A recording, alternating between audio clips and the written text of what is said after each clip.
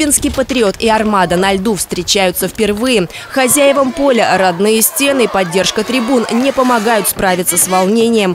Первая шайба в их ворота влетает уже на третьей минуте игры. Вторая не заставляет себя долго ждать. «Патриот» предпринимает попытки выйти из своей зоны и даже создает опасные моменты, но реализовать их не получается. Итог первого периода 4-0 в пользу «Армады». Это называется, да, нереализация своих моментов. Когда, э, как правило, не реализуешь ты, реализует соперник. Что и происходит, что мы и видим. Мы пошустрее бегаем, у нас послаженнее идет э, игра в пас.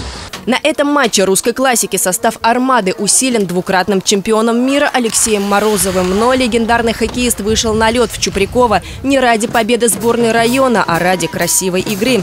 Быть может, его пример заразит кого-нибудь из местных мальчишек, и через несколько лет на пьедестал почета взойдет новый чемпион.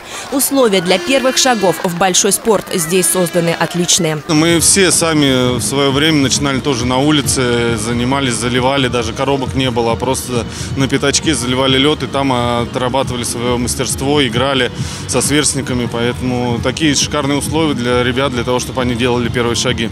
Буквально в э, конце прошлого года по губернаторской программе мы открыли эту замечательную коробку Здесь прекрасный лед, э, хорошее оснащение, есть раздевалки для всех любителей хоккея, спорта. Во втором периоде «Патриоту» удалось забить первую шайбу ворота соперника. Правда, на ход игры это никак не повлияло. «Армада» продолжала атаковать. Как итог, к концу 20-минутки счет был уже 8-1. Ребят, конечно, уровень видно. И с прошлым, и без прошлым, неважно. Ну, мы, как говорится, дворовая команда, которая состоит из жителей города, бывшие действующие военные, поэтому нам какие-то, так сказать, звезд с неба не хватать, поэтому играем как на своем уровне.